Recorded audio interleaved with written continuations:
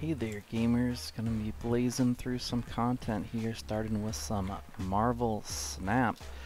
Uh, it's kind of a clash of Hearthstone meets Artifact meets poker, I don't know. It's a card game where you're playing through six turns and just to quick give a quick overview, we're looking at three locations uh, in an example game. You basically play in like the left, the middle, or the right position, and then it adds up all the damage at the end, and whoever's winning two of the three positions um, is going to be winning the game. Um, if there's a tie, then it just goes for the total. Um, you generally just play somewhere around maybe six to eight cards. More definitely can be more or less, but um, oftentimes it's just one card a turn. Um, as each turn you get one mana, two mana, three subsequently, unless there's some mana mechanics like I've got a card that gives me plus one energy for a turn. I've got a card that um, reduces cost, stuff like that. Um, now each location that you play at is randomized based off of a pool of different uh, battlefields that have different effects. Like for example, this one you can't play after turn 4, so you would want to put some early cards here so that you have some advantage, unless you have some other way of like summoning them in after. There's like play cards you play, and there, there's cards that can play at other locations from one location.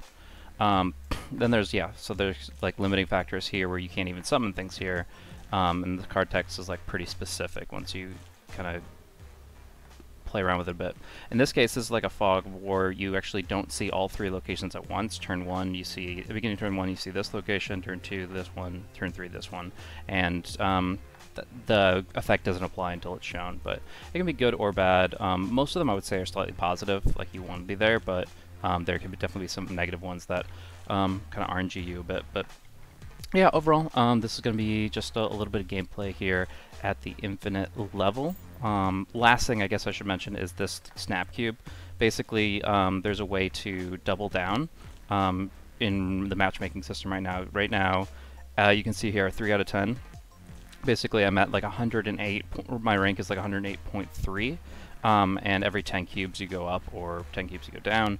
And uh, the way you get these cubes is one you get one per win if the opponent retreats before turn 6 without a snap being played, but at turn 6 it doubles to, um, you see like this next turn, it'll go to next turn 2. If everybody plays turn 6 without a snap, then the, the game is worth 2 points instead of 1. Um, but much more often, at least one of the two players will snap, which is like a raise in poker, where um, you're saying we're gonna keep if we're gonna keep playing, I'm it's gonna be worth a lot more to me. So if you're in a winning position or think you could be in a winning position, it's often advantageous to snap, and that would allow you to um, rake in the points. Usually try to get uh, four to eight points at a game, but more often you'll see like two points and somebody retreats on turn six. Um, anyways, yeah, that's the basic gist of it. Um, we'll just kind of get into it after we look at the deck I'll be playing for this time around. Uh, experimented with a lot of different stuff. I've uh, were it was able to get some of the newer cards or the higher tier whatever unlocks and uh, put them together to a deck that I'm kind of into. This is similar to the deck that I first hit Infinite in in uh, Collection Pool 2, Series 2, whatever you want to call it. And uh, yeah, going along those lines, uh, I get basic kit is Sunspot, who likes it when you don't use all your mana. You have Armor who protects him because there are cards that can reduce, destroy one cost cards in particular.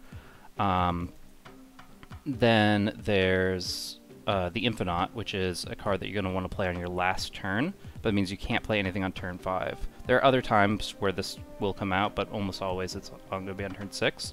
And the goal of this deck is to try to play this new card that I got, She-Hulk, alongside it, uh, basically reducing the cost of she-Hulk based on energy mana you didn't spend. Again, synergizes with Sunspot where he wants gets he gets powered up if you don't spend mana, the or energy. What are, the words interchangeable for my vocabulary at least. And then um, she is more cost effective, or get you get more value out of her if you didn't spend mana the previous turn. And then um, to play the Infinaut, generally you can't play anything on turn five at all, so you're wasting all five or six mana there. Um, by playing, usually She-Hulk would be discounted by 5, and then you don't have 6 mana to play on turn the last turn. But because of the Psylocke card, you can play this on turn 4, and then pass on turn 5, and then play She-Hulk and Infinaut Uh, that's why I call it 30, is because you can do 30 damage on turn 6. There's other ways to cheese out the, the card. This she Jubilee plays like a random card. Often it'll just be like um, America Chavez, who's going to always be in the deck in, for the first five turns. Um, but yeah, there's there's a couple other things. Um, this is kind of piggybacking off of a deck that I had some success with, where I combined Aero and She-Hulk, and basically you could wait until turn six um, and mm, use this to manipulate your, the the position of your enemy's last turn play, and She-Hulk would kind of bring the brute force to try to win a position. Uh, there's other cards that again discount co uh, costs and, and factor in. Um, then there's just cards that are just kind of cheap value damage to kind of force the enemy to play things on the board. Odin is kind of weird. He doubles down on any activations. If you play him next to Jubilee, for example, she'll summon a random card in your deck. It might be Odin. And then when he reveals himself, she'll activate again.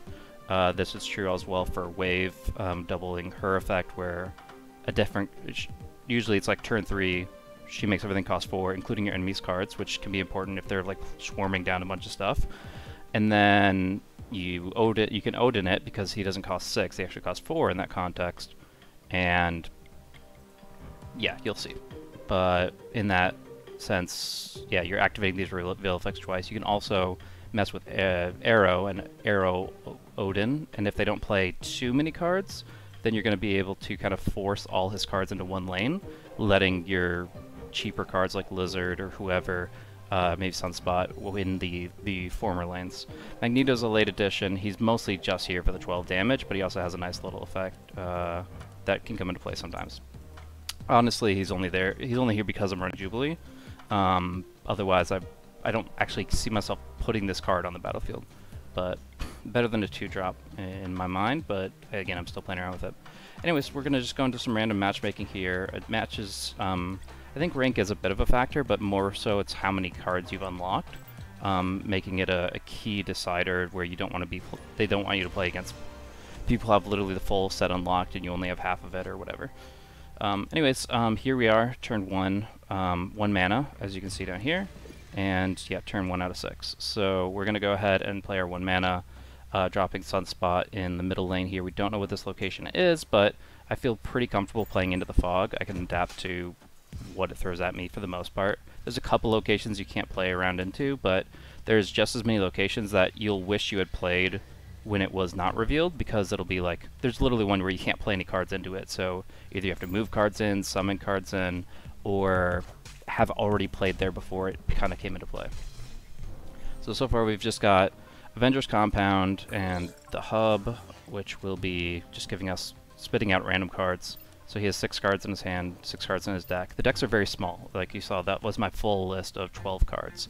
So it's pretty, you're going to see, by the time you get to the last turn, you're going to be seeing um, three quarters of your deck, guaranteed. So sometimes you'll have like the Infinaut at the bottom, and that's not great, but like, for the most part, um, it's pretty clean. So now we see event this uh, mirror dimension revealed. It's going to be Avengers Compound times two. So basically, next turn, either of these locations will be a valid uh, place to drop this.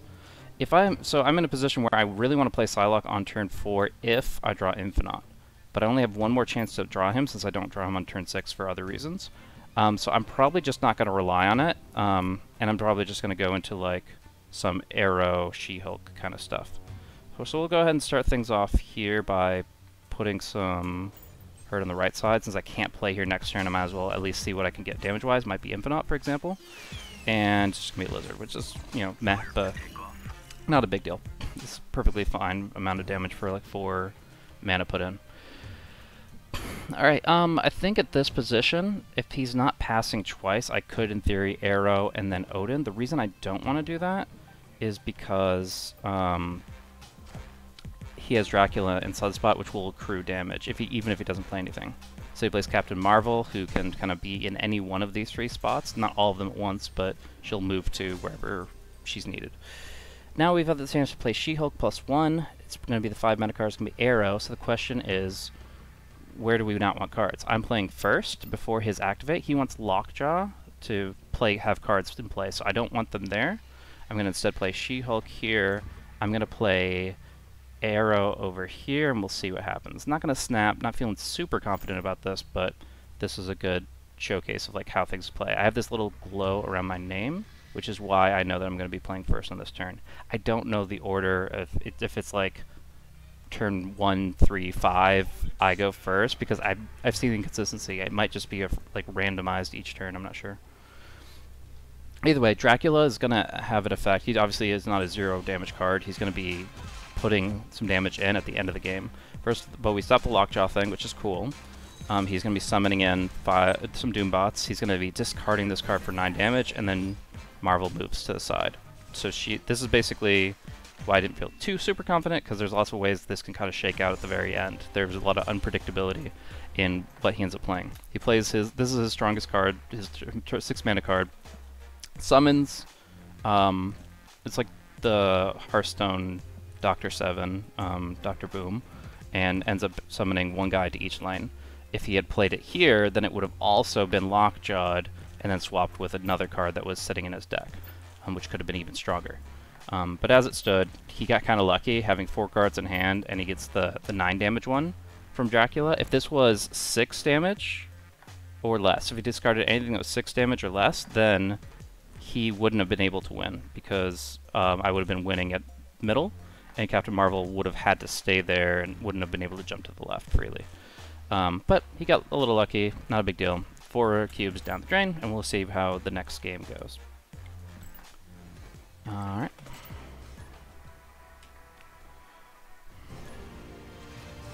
So the games are fairly quick, especially if I'm not talking and wait, delaying things a lot. I'm going to try to play Aero over here because she can straight up kill people with it. So um, we'll put pressure on the right side of the board and make them want to play there, and then we'll see what happens. Sunspot's always at risk if he's not under the effect of armor.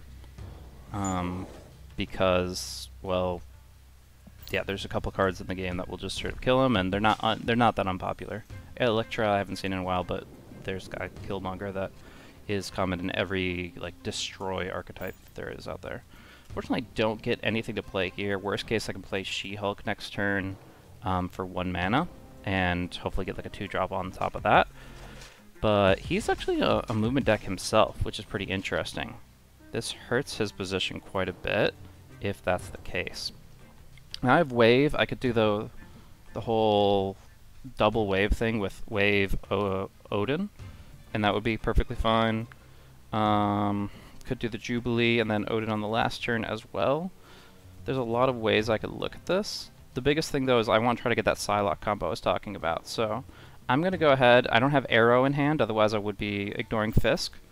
Um, but, yeah, as it is, he's going to be sending Vulture over here with, like, bonus damage. He's just got, basically just got a really beefy card here in Vulture, and he's going to use Doctor Strange to bring it back to the right in a turn or two. Um, in the meantime, I'm going to be summoning out Aero, who pulls him in, and because of Fisk Tower, he gets absolutely destroyed. Not a big deal since he only does 2 damage, but whatever. Uh, that puts us in a position to close things out here. I'm going to go ahead and Magneto he, um, this 3-drop into Fisk Tower here in a second. So what I'm going to do is I'm going to play a Wave in middle. I'm going to snap with this. And what we're going to do is we're going to She-Hulk Magneto. Because Wave... Oh, he's gone. Uh, so he leaves. I get one free cube. It's not much for the four turns put in, but it's okay. What I was saying is that basically I can turn Magneto and She-Hulk into 4 mana cost with Wave. And then, because I didn't spend 2 of my mana on turn 5, only playing a 3 mana card, She-Hulk gets discounted an extra 2. So she costs 2, I Magneto costs 4, that's 6 mana. And then Magneto does his move thingy, which would kill somebody at Fisk Tower, while She-Hulk gets to take Atlantis and be 15 damage. So, pretty good combo. Um, would kill off the, the Vulture there, and unless there's a way he like predicted it and prevented uh, its death with one of two cards, so... I, I, would say unlikely, since it doesn't fit the deck that he was running. Anyways, he didn't feel great. He obviously was planning to retreat as soon as you snap. Um, I, I didn't really cover retreat, but basically it means that... Uh, let's see, well, um, basically it means that you can leave the game at any point, and if you see a snap, you want to make a decision. Are you going to stick around and go for the double down, or are you going to, you know, uh, just cut your losses? And uh, I think the math, the math of it is interesting because I thought about it. Basically, it's not just like a 50-50, I'm winning or I'm losing. Like, if I only have like a 40% chance to win the game, it's actually still fine to go ahead and play it out instead of retreating because you get a guaranteed loss versus a 40% chance to win. Anyways, um, that's a little bit too complex for this. I could storm on left side. He's also got goose here, which is super annoying. Um, because if there's a... What could happen on here is if I play storm on left, I haven't covered storm obviously, but if I play storm here, it can be mirrored here, and then with Goose in this position, I might not be able to play any uh, high damage cards later on. So it's kind of risky to play uh, Storm there. Because I wanted to copy Daily Bugle and not that, but you never know. Anywho. I could just do this, since I'm not planning on playing here anyways. Kind of okay with that. And he does the same thing. So, not a big deal. Um... But I guess it does create the same situation where Mirror Dimension could flood, and now I literally can't play on turn 6, which is the, the turn that I'm the strongest. So I can mess with this a bit by playing a Jubilee, not here because of Goose, but I don't know how this actually pans out. We'll go ahead and play Jubilee. Um, not that many good cards. The biggest one would be uh, Chavez. America Chavez 9 damage instead of get Psylocke, which would be great if this wasn't the vault. Cl this closes next turn, so really not much. So I can no longer play this turn. Mirror is kind of weird to actually play it here. So I can go ahead and mirror this, and we'll see what happens with it. Um, the problem is, though, if he plays a good enough card, if he can beat 9 damage here, then I can lose that. So Aero is the safer play, where it prevents, you know, stuff from getting screwed over by pulling things out of there and auto-winning left. But this is going to be the kind of bigger play. If I can pull Chavez, um, it's good. I'm trying to remember what other cards are in this deck. Oh, Magneto's great. Um, and probably already like pulls one of these guys from over here. So he does the Forge thing, he gets Killmonger, it kills this guy. That's one of the ways that uh, Sunspot can die. And I probably should have seen that coming because he had Nova. But he didn't snap, so like I, I can still retreat with all this new information without much concern. Um, and I'm going to have to because he guaranteed has one left and middle, and I'm lost right. So we'll go ahead and do this. If he had snapped earlier, then he would have gotten an extra, an extra cube for that play, but which he definitely should have. But all for that for a drop a one cube, not a big deal. Yeah, I think the I'm never going to be really snapping on turn five or six. It's really going to be trying to snap at turn four and kind of knowing at that point how the game is shaping up based on what I've seen from these decks before. And ten, seven turn game, so we get seven a seven mana turn after the six mana turn, um, which means that I don't necessarily need to play Psylocke at all. Um, I can just do like wave stuff for a good chunk of the game, and still do on turn seven She-Hulk Infinaut, assuming there's space. You can only play a max of four cards per location, which is a limiting factor as well. Okay, um... I don't really necessarily know how to adapt around the extra mana here. Because Wave is still, like, feels like the better play compared to most of my options. I'm, I'm gonna get She-Hulk for basically free if I play it smart, so... Um, either I wave this turn, I wave next turn, I'm not sure what the difference really is. Um, let's go ahead and get this out, and then I might be able to aero next turn instead. We'll see what he does. He probably has a movement deck already. No, he's Brood. Okay. So he's running a Silver Surfer buff Brood deck. It's pretty strong. Um, what he has going on here, I'll outline in a second, but I probably want to try to get like a wave, a double wave in. I don't think it's going to really matter a lot of what I have to play right now. We can mess with him with Magneto a bit. Let's try that and see if we can get the Magneto draw, or at least Chavez. He's trying to flood middle. And we get Odin, which will then pull another card, which is probably the best card we could have gotten. And Magneto. Okay, so we're in business now. Um, can't really predict that kind of RNG, so that's where I wouldn't snap on that turn 4 and would have to just snap after the fact, but assuming he doesn't retreat, I feel like I'm in a good spot. He's full up here. He can buff them with a couple cards, but nah, it's good. Um, and then there's still two more turns to play, so what I can do is either aero or just wave and slow down his card play. Hmm.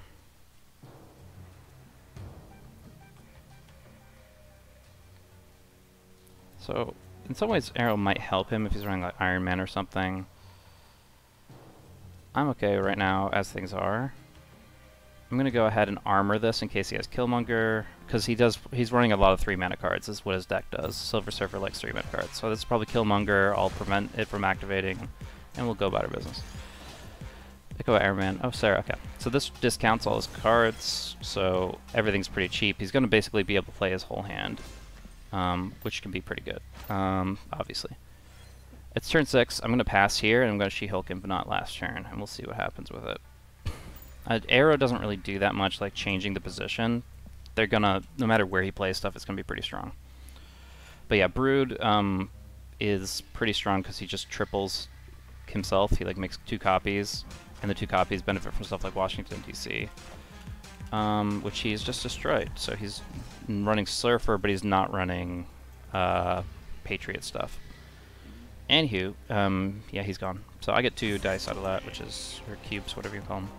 Um, and yeah, he probably knew he, he can't win right side, and he's going to take 30 damage on one of these two lanes. Uh, he might not know that specifically, but gets the idea he's not in a winning position, so. Cool, cool, cool.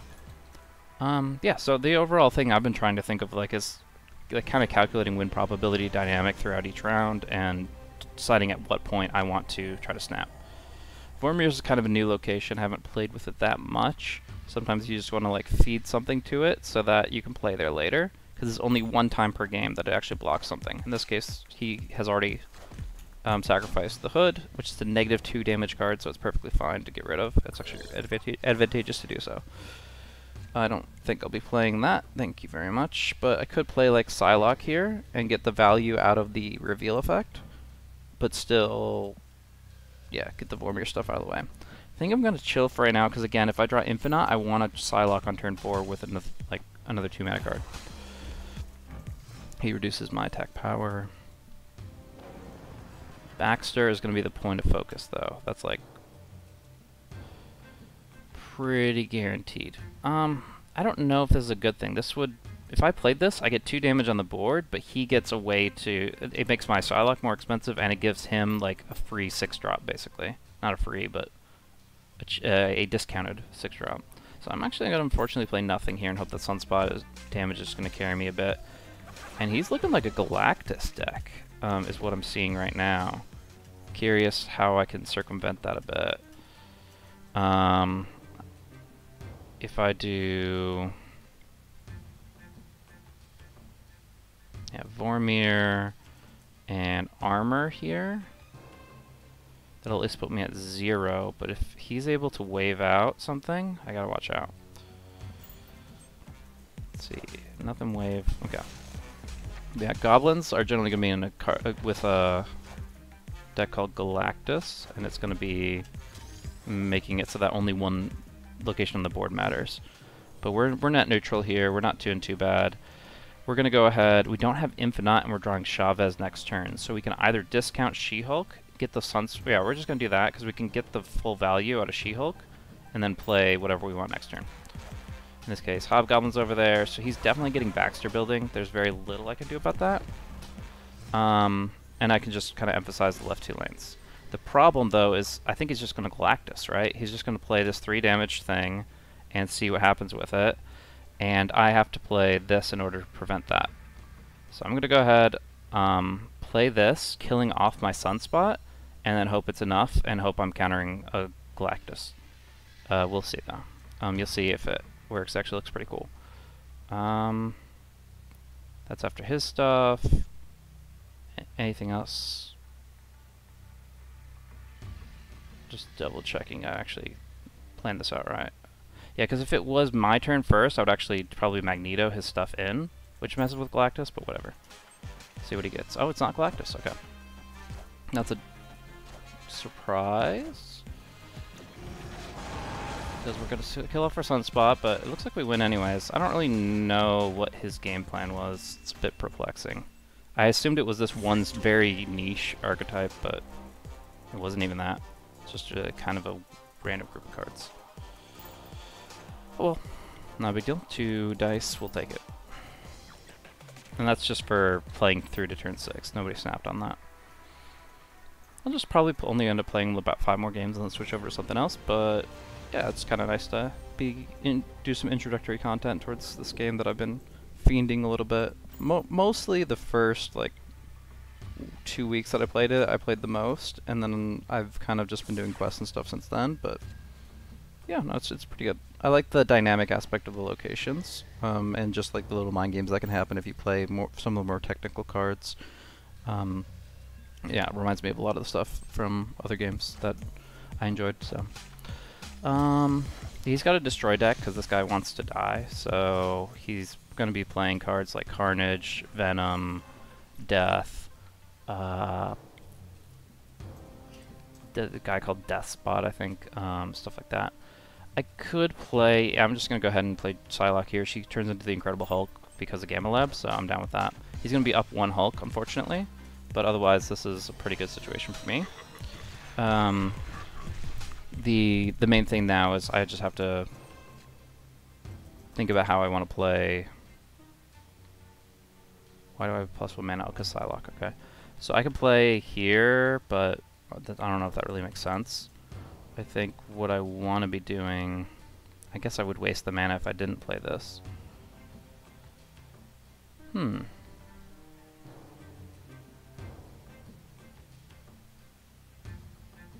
Yeah, I'm not too sure. If I'm playing Infinaut next turn, then I wanna... Let's try this. What's he? He's playing a 4 mana card, so it's probably not that strong. And now I'm getting the benefit over here. So he's, yeah, he's killing off this guy, buffing all these guys. And I'm pulling out a Mojo, which you usually want to stack a lot of cards of Mojo. So he's up by 15 in middle. I can counteract that with Infinaut if I don't play anything this turn, but kind of feels a little weak. Instead, I could go ahead and Jubilee Odin. And I think that that'll at least create some value here.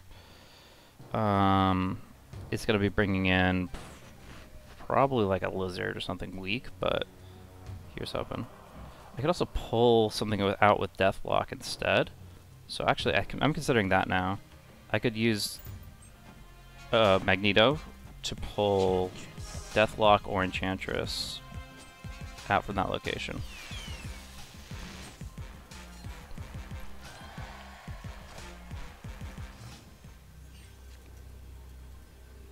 I think I'm pretty happy with whatever it hits here. It's not for the 12 damage, it's actually just for the drag, where I'm pulling something out of Atlantis or I'm pulling something out of Mojo World, which should guarantee me one of the two. The problem is, it's kind of a coin flip. Whichever one doesn't get pulled, he could still win that lane pretty convincingly. So, hmm. I don't know. I mean, that it's that or Odin Aero, which pulls something over to the left and guarantees me the win. Okay, never mind. That's obviously a better play. Um, this should work three cards in hand. He, if I, I'm winning by two damage right now, so unless he has a 10 damage card that he's putting down, I'm gonna be happy to see this work. Let's go ahead for it. Snap it up. See what happens. Yeah, so there's like so many different ways you can kind of manipulate the board once you get the deeper into the card pool. The basic stuff doesn't really count, but and we get a free one cube. I'll take a guaranteed one over like a I don't know, 65 percent chance of getting four. Really comes down to what he ends up playing. so yeah, I don't really keep well enough track to know if I'm like winning or losing most of these games because it really comes down to the net dice value. Like, if you get an eight point win, it's so much more significant than a one point win. It's not even worth comparing, to be honest. Like, I see some people being like, "Oh, this deck list goes 70-30," but it's like, but how confident can you be going into turn six, and uh, how how obvious is that play to your opponent? Because you want to make it so that they don't know what's up your sleeve until you get closer to the end, and that way you can get more than just the one cube, where people just retreat on turn five. Um, so we're playing Psylocke next turn. Um, we're just going to save mana because it helps Sunspot. And then we can probably play Infinaut or She-Hulk on left, and she can get the Atlantis buff later. So we're thinking a few turns ahead at this point, but yeah, there's no reason not to. This guy's running a discard deck, which does have some risk involved. If Whoa, okay. That's more than you usually see, right? Or no, I'm just, I'm not thinking straight. Anyways, um, yeah, this is chill. We can just go ahead and play Psylocke here stab because it's pretty clean to get 30. The only thing is uh, if we can discard a uh, card, or if we can get a card called Hela in play, she resurrects any discarded card, and Ghost Rider can do something similar. So between the two of them, that's a pretty good combo. But yeah, he's gone. I get two dice. It's very interesting. He doesn't play anything, I don't play anything. But he hit, and like he was accepting the snap by hitting end turn. And yet he just loses the dice the next. Like, I don't know what more info he got out of that, that he's like, okay, now I want to retreat, but I'll take the free dice.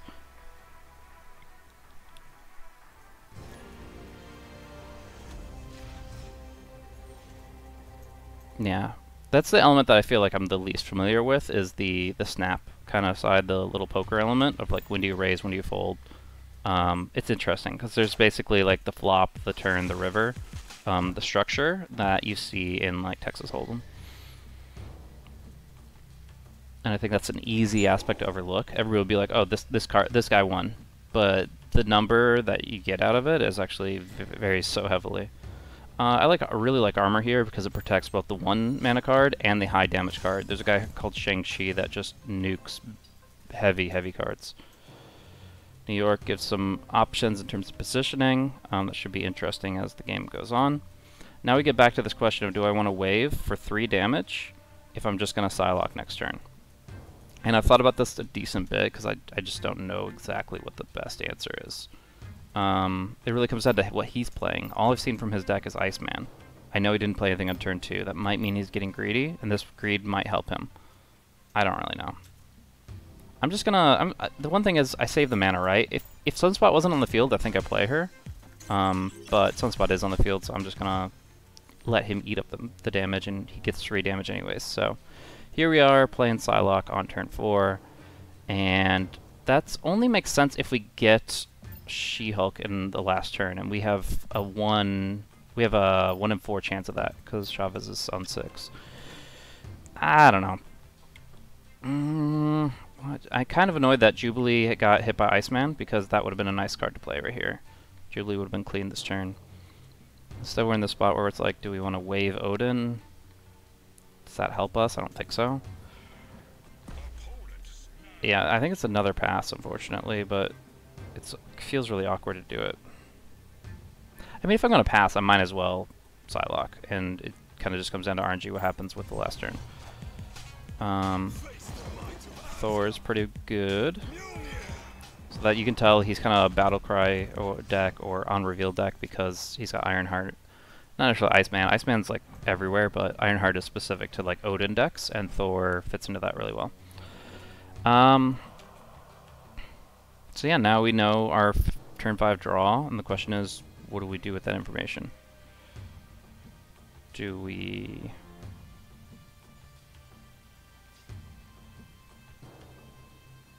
Do we play anything? Do we just try to win left? Yeah, I mean, it's honestly, it's boring, but like, it actually feels the cleanest to do something like this. Where I just, I pass, I get 6 free damage on Sunspot, and then I play 20 damage on left. And Thor can power up, but usually only once with Mjolnir, so it should be chill. Yeah, he, she pulls Mjolnir for him. I get buffed up. The only trick now is do I just burn, bring everything over? And I think I do, because he's already got a card there, uh, Ironheart, and that's not going to help him very much. Um, so yeah, we'll just bring everything over. Um, the the armor will go with, and then we'll win left, presumably, unless he. Oh, he could do he could do double, right? He can do Mjolnir and then Odin. Never mind. I'm probably screwed. What's it? Plus six. Eh, should be okay. Yeah, I'll, be fine because unless he gets plus 14 or something. And he starts off with 4, so yeah, maximum damage of 18. He does get the proc, but like, I'm 20 damage, so see you later. And here, look here, 8 cubes. Like, it's so hard to get kind of hyped up about the 1 cube retreats when you can suddenly 8x that um, one turn later, and now I'm up to 109.4 in terms of ranking. Um, not sure what the top end is. Um, I think I hit like 114 in the the lower card pool with all with the less cool stuff unlocked. People acted like that was kind of like training wheels, so I can't really say if it was good or not. But yeah, now this is kind of around the highest I've been in this higher pool. Yeah, it feels good. Do, do, do, do. We do not want to put Lizard here. He gets debuffed twice by it, so we're just going to drop it over here. Yeah, Lizard has like a drawback built into him, where if he's up against a full board, then he only does 2 damage. And he's actually negative 1 if he's at Citadel. Um, this is interesting. This Central Park kind of floods the board, it, eh, which can be very advantageous for some decks. Um, the destroy decks that want to like eat cards, like Bucky, they they'll like the squirrels. There's buff decks that'll like zoo out a bunch of stuff and then um, power it all up. Ooh, this could be dangerous. This Moon Knight discards my Psylocke, so I do not get Psylocke this game, which means I can't She-Hulk Infinaut on my last turn. So I think She-Hulk now is definitely my best play. Um, and the question becomes, where do I want her? Um, she's technically a three-cost card right now, so I guess it's going to be left. He's already going to be playing pretty heavily into right. And I don't see him really using any ongoing cards for the Citadel.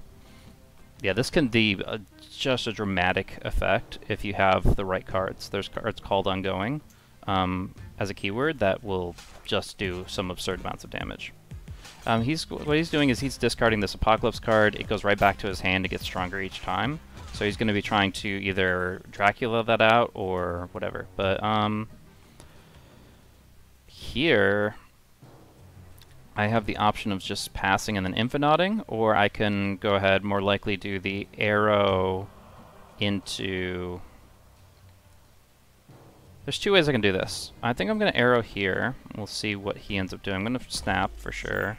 And then there's a couple ways I can play that. I can either Odin it, or I can inf uh, Magneto over to the side, depending on where I want the cards to, to fall. A big question is, does he play two cards this turn? He only plays one. Yeah, Aero drags it over here. Um, it's going to be Dracula. That's what I was expecting. So now I can just do Odin here, and if he only plays one card, oh, he has a ha big hand size, 6. So he could be playing quite a few cards. Um, I move stuff first. I don't know if that's... Okay. Let me think for a second. I think just the raw output of Magneto is going to be kind of nice. Um...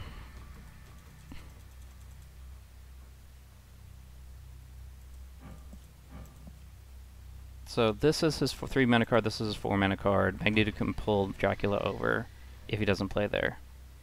And even if it is the plus 18, just doing quick math, I'll be at plus 15. It's not 18, I don't know why I said 18. Anyways, uh, let's just do this. I'm not 100% sure if this is the right play, but he played some cards up here. Oh, he just, yeah, flooded.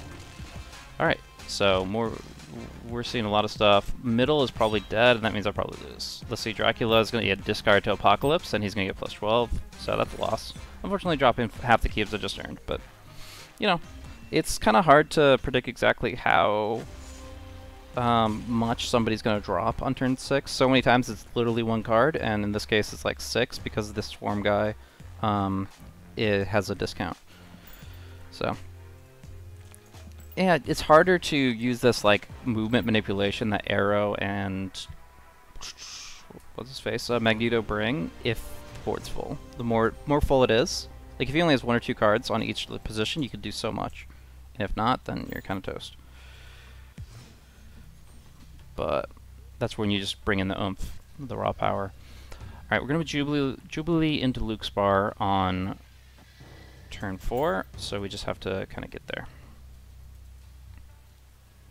And see what happens. I'll probably snap on turn 4 regardless of what happens, but we'll see a little bit more, just in case there's some insanity.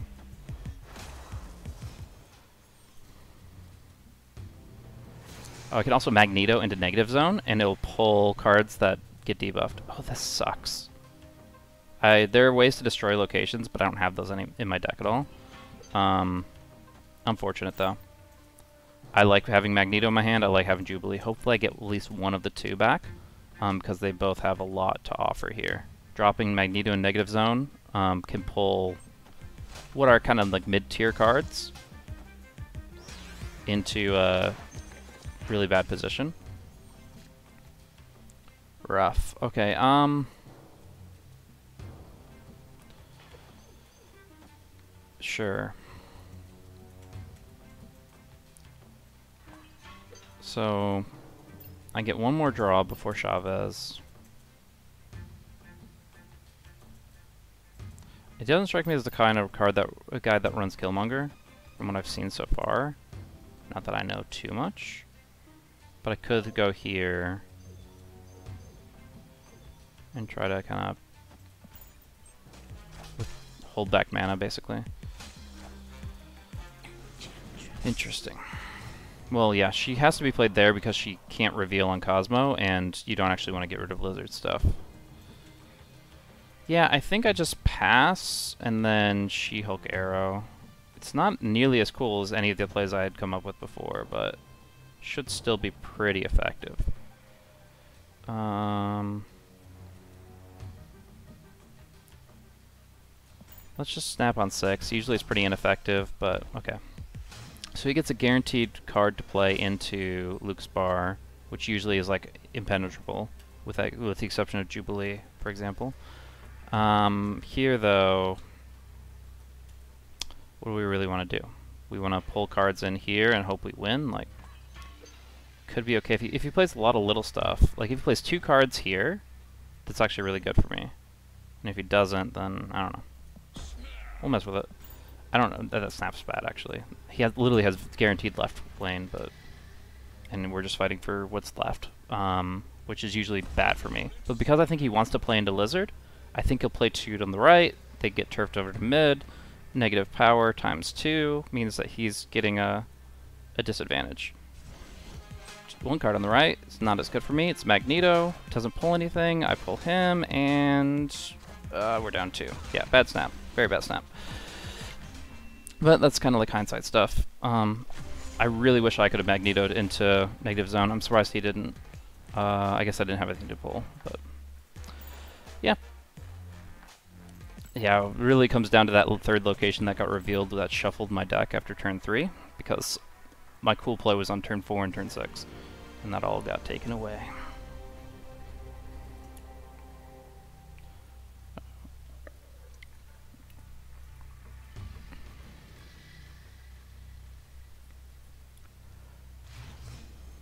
Yeah, but I mean the, the game flow. It's kind of addictive because the game flow is like so quick. Like you're in and out.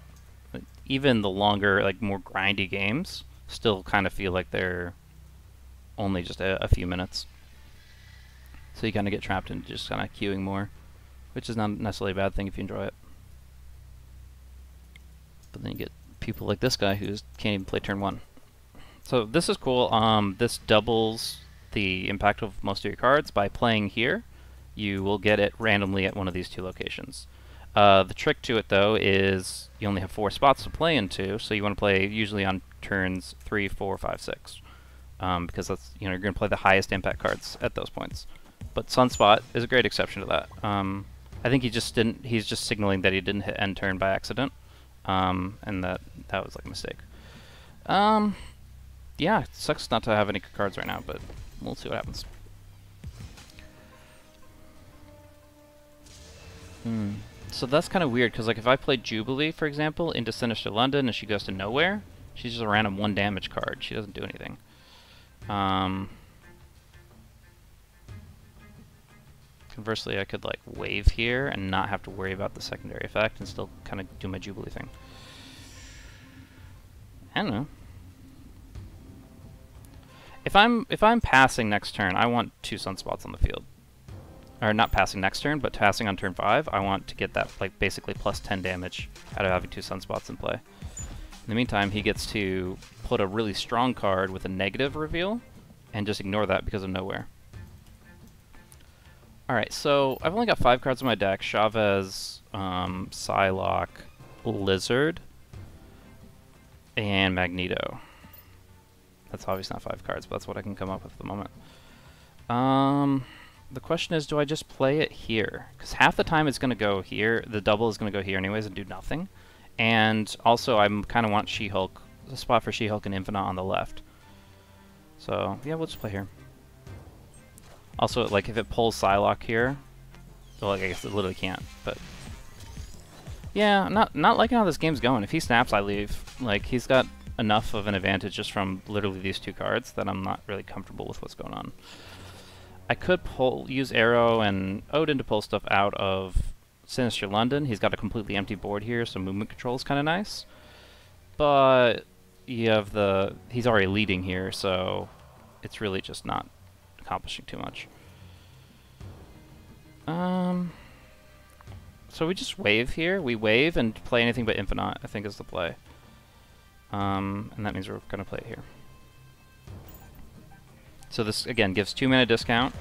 So, okay, it's going to go Sinister London. I'm fine with that. Not a big deal either way. Three damage somewhere. Oh, she doesn't get the double up. That kind of sucks.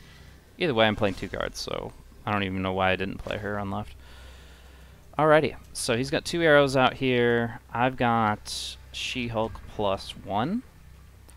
I could pull Maximus out of into like this position, which might be bad for me. Like if, if Magneto reflects here. So the second one plays second, um, and by that obvious statement I mean uh, the copy, Sinister London copy is where it's actually going to pull unless he's here and doesn't reveal, or doesn't have the reveal effect. Um, and it's actually really fun if Sinister London and the kill anything that moves here thing comes into play, because you can aero, it pulls them into London and then pulls them out. Um, stuff like that's kind of tricky. I don't know, this is a lot of damage, like just dropping 22 damage to the board. I feel like I'm at a pretty big disadvantage, but I don't mind just playing it out, see what happens. Odin shows up, activates Aero again. That means because he goes first, I lose. Um, if I went first, this would have no impact at all. Um, I would still get my copies. But as it stands, he just stopped me from cloning two cards, which obviously will just completely destroy me. I'm surprised he didn't snap. Hmm. Yeah, I didn't feel good about it, but like, I don't. I think it's worth the risk of putting in 22 damage, and oh, I guess double that, so 44 damage on the board in one turn feels like a pretty good uh, river, but not enough in this case. So easy lizard. I don't know. I don't really know how to just explain my justification here, other than I think more people play middle than right. People shy away from this right location and are compelled to play here because it's like, oh, this is going to reveal next turn. I want to put something there in case it's something worth playing at. But in this case, it's the opposite. Superflow, you don't want to play cards there. I'm getting free mana, he's not. And now I can do so much random stuff um, with this extra mana that I'm getting this game. Uh, we're going to pass in this case, but yeah. Like, I don't even have to play Psylocke this game at all. I could have played her there for one damage, I guess, but... Um, Raptors. Okay, um... Hmm. Can I get She-Hulk cheaper, I guess is the question. Am I going to be passing it all this turn, or do I just want to play like a 5? No, I can play Magneto and Odin on this on 5 and 6 now, because of the Super Flow. So we'll play this out, we'll snap it. We're feeling pretty good. There's obviously lots of ways that we can get screwed up here. He's playing a discard deck. He might get lucky in a lot of different ways, but just the mana advantage alone, I want to... Like, if he's just going to retreat later anyways, I want to kind of lock him into the game. So he gets a big discard discard on the Infinaut, highest damage card in the game. Um, and so... Oh, we're filling this board up pretty quick. Like, I can't Odin this. Huh. Maybe I'll pull Infinaut, though. And that would be very worth it if that's the case. If not Chavez is like two-fifths of the possibilities. He gets Hela discarded, so he needs to play Ghost Rider. And he needs Ghost Rider hit Hela as well, which is kind of random. So yeah, I get Chavez. Some good damage coming out. I could pass this turn and get Infinaut next turn, but I don't have um, Sunspot down, so I'm not getting any really extra value from the, the mana I didn't spend. So I could just as easily like Magneto here. He goes first, so I can't stop like an Odin play, but he's not getting the mana for Odin, so I don't know what this all means. I'm just gonna play. I wanna play here? Fill up his board. Yeah, I wanna fill up his board, so we'll do that. And then we draw some random cards soon. Okay, so yeah, we pull Jubilee over here. Guaranteed win on right board means I can focus everything on left, which is really nice. And he's gone. So he ends up retreating before turn 6, and I get those... I'm glad that I snap on, like, turn 3, because, you know, he's just going to run away. It, these... when Once you have, like, a clear disadvantage, you just need to leave, which is perfectly fine. It just means I want to try to pressure him before he gets there. Rock. That's useless. I don't think there's any reason I want to interact with Rock in a positive way anyways. Like, there's nothing I can do to buff it, or... Literally, unless he's playing Lizard, there's no reason I want that card in play. Yep, we'll just go Lizard in the Fog. Pretty standard stuff. Oftentimes you'll see enemies play into the places they know. They're like afraid of the enemy they don't know, so they just play into the places here. But there's no real advantage of playing here. It just it could be Jotunheim, it could be Bar with no name, so people get scared of it. Um, I'm down with just, yeah, wave. I don't really have a lot of plays right now. It kind of feels bad. This Subterranea is one of two things that injects rocks into, well, one of four different things that injects rocks into your deck, and that means you just don't get all your cool stuff. Like, he's going to Lockjaw, and it's going to pull rocks, and it just kind of sucks.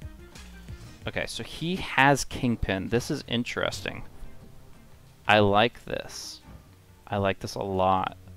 So what I'm going to do... I'm playing first as well. Oh, boy. He's going to drop a rock here on Subterranea, expecting Lockjaw to eat it and give him something cool.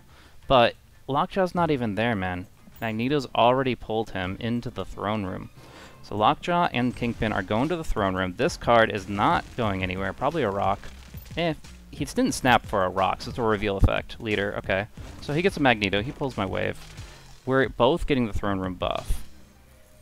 But it just, it, it creates a very interesting situation. I kind of like that I'm losing here a little bit because I get to aero at the end of the game and almost auto win. Um, is there anything else I want to do here though? I'll just tie over here, or do I just want to force the yeah, okay, so I just want to push my advantage. So I'm going to play here. Hopefully he doesn't fill it up. Great. Oh, Jubilee's going to fill, fill it up pretty quick, actually. But this doesn't matter to me too much. So the question is, does he get Hela, and what does he get out of Hela? But what I've been building up to for this game is I just want to aero middle. I've put him in a position where he has to play on the right. He wants to take away Lizard's power. He wants to beat this 13 versus 6. Um, there's a chance he just plays the Lockjaw route, though, right? And in that case, I actually want to, like, aero here. So aero here in the middle is fun because Kingpin will kill it. If it's not played there. If he plays right or left, Kingpin kills it. But if he just plays in the middle, she's not actually moving him, and it doesn't do that. So the question becomes, is he getting Hela? And is he doing it via Lockjaw? And I would not be surprised if he did it via Lockjaw. In which case, I don't really, aero doesn't really matter. And I probably just retreat. I mean, this is eight eight cubes. Eight cubes. If he resurrects a bunch of stuff that discarded, I didn't keep full track of like what he got out of it, but it seemed like a, a lot of good stuff. Maybe he pulls a rock though. You know, you never know. Let's just let's play it out. See what happens. He did play here, so aero would have been useless. He does get the Hela out, as well as all these zero-cost swarms, which get lockjawed. she already activated though, right? Okay, he gets literally Lux into, like, I guess it's not that lucky, but yeah, he gets plus one. I lose eight cubes. There's a reason I, I feel hesitant about that. I need to realize I'm rolling the dice. It's not even, like, bad because it could go either way, but I think I was definitely unfavored there. I probably have like a 1 in 3 chance of winning, and realistically to stay in something that's escalating, I think it was going from 2 cubes to 8, maybe it was 4 to 8, um, I need to maybe play a little more cautiously, cut my losses. Man, I was planning only playing a few of these games, but you just, it's so hard to to quit when you just got the ball rolling. I don't even have to be winning to feel good about playing these games, just because I don't know it's stimulating mentally. But um, yeah, this negates Vormir entirely, and I just usually want to pair it up with Sunspot no matter what.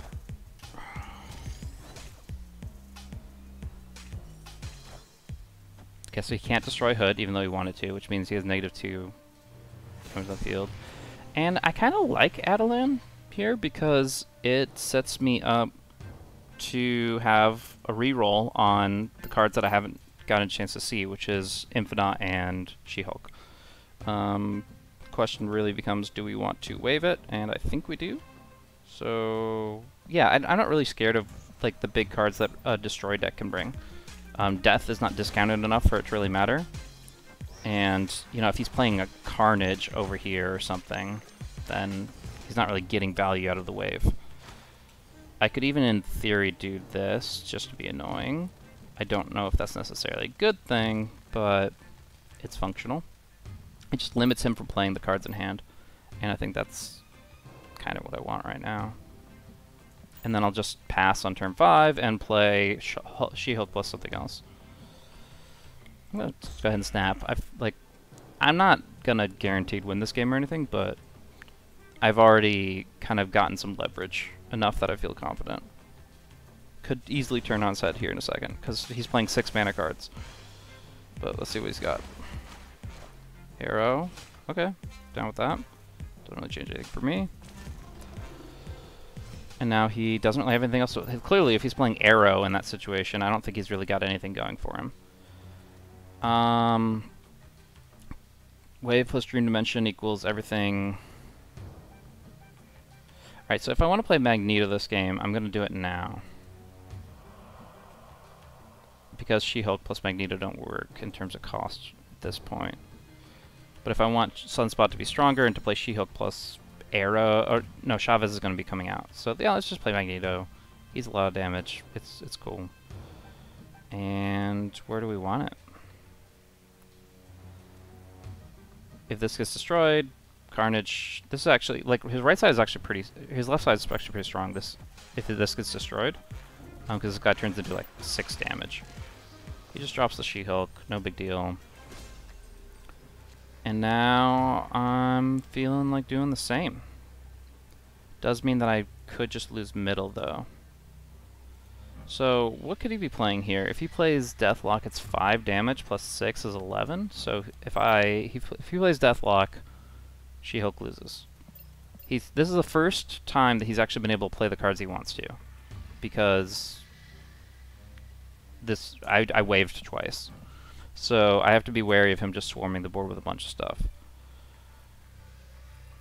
Kind of a tough call. I can't really feel confident just doing like a lizard and then let Sunspot eat the the mana, but there's a chance that's the optimal play. It's hard, really hard to evaluate just based off that. It really comes down to if he plays like three stuff here, but I think he's going to play at least one or two things here. Like, a, let's say he does like Nova Deathlok.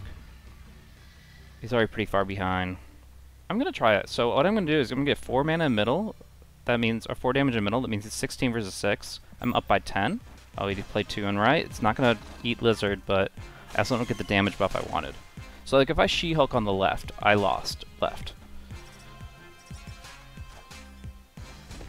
And instead of, this worked out. You know, I didn't need the damage in middle, it turns out, but like, I got this lizard bumped me just enough above the threshold of da danger that when he started swarming stuff, it actually didn't really matter. I knew he wanted to kill Bucky, that's just like natural for his deck, and he's not going to do anything in middle with armor. Um, but, you know, it was just kind of a just-in-case measure to make sure the Sunspot had the extra mana. And, like, what's the difference between playing 10 damage here and splitting it four plus 4 here and plus 5 here? It's just, like, one damage difference overall, and it kind of hedges the bets, where I felt like he wasn't just, like, going to drop 12 damage on one lane. Alright, let's call it last game. Win or lose. Had some good ones, had some bad ones. No big deal. Uh, I think we're almost net even in terms of cubes, but DT Rush. Classy. two damage, two mana, probably not going to spend it. Yeah, nothing here. Sometimes you get dead draws. I mean, you're literally just sitting around waiting. If you get a sunspot, dead draws are kind of nice, because you just pass turn 2, turn 3, whatever. But here it's like, I'm not getting anything. I'm not. I'm. I feel like it, I'm wasting my my turns. That being said, there's. It's not uncommon. These this guy hasn't played anything yet. So. Okay, no armor effect. It's a visual bug, but ongoing defects are disabled here, so cards can be destroyed at that location. Not that it really matters too much. So we can just like Jubilee middle and then hope it hits. I mean, there's a lot of what ifs here. I, I still don't know what I'm doing for the next rest of the game. Electro. So oftentimes you'll see like an enchantress or something try to silence this guy so that he can play more than one card, but right now he can only play one card per turn. Um, yeah, we'll try to hit a Jubilee plus She-Hulk, and if we don't, that's cool. We'll hit a Chavez, Lizard. Um, yeah, I, will either pull She-Hulk or I'll pull Psylocke, most likely. Chavez and Lizard aren't bad, necessarily. All day. All day, Lizard. Whatever. This is scary, though. So what he's going to be doing is he's going to be playing a very big card. I want to bring it over here to make it pretty useless. Um, and then I'll probably do that again with Odin. Yeah, I'm going to snap this. I'm going to... So he's going to be playing uh, Red Skull, most likely. Um, there's a few, like Black Panther, I think costs 6. I forget, but either way. Um, it might be 5-drop. Either way, Aero's going to put bring it over here, so I don't really care. So this is probably Red Skull. Um, no, Black Panther. And now he can either RNG out this guy. I, what is his name? He's like a, a zero damage card called Artem Vernum or something, or whatever. I don't care. Um, or he can lose. So either he gets that exact card, drops that exact card, or loses. So let's see what happens. Oh no, sorry. It, it's not even just that he has to play that card. He has to hit Black Panther. If it hits the other two, it's just bad. Yeah, Arnim Zola hits Electro. So Black Panther stays here, Electro goes over there and does nothing. So he had like a 1 in 3 chance of that play working, and if it works, he gets 32 damage. But it didn't. So basically, Aero, Odin just gets to troll people that when you know what their game plan is. And clearly, if he's playing Shuri, he's just going to buff like a 15 damage card. So it's going to be either Black Panther or uh, Red Skull. And then usually you'll have a, a card called Taskmaster come out right after that. Um, and because of this Arnim Zola thing, uh, it doubles the double. So he every time he reveals, it doubles his card power. So Shuri doubles his power. He starts at 8, he's at 16. And then, if, wait, no. He starts at 4. Shuri doubles his power, and then his own reveal effect doubled it to 16. And then Arnim can then reveal him again to make it 32. Which can be pretty unstoppable. That said, it's a 1 in 3 chance. He could he hit Shuri, he could hit Panther, Shuri, or Electro, and neither one of these would be able to get past armor, so I was happy with that. Good four cubes to end the night. And that puts us back up to 108.2, which is roughly where we were at the beginning. But, yeah, just some good, nice experience and uh, some reactive plays. Alright, uh, thanks for watching. Have a good night.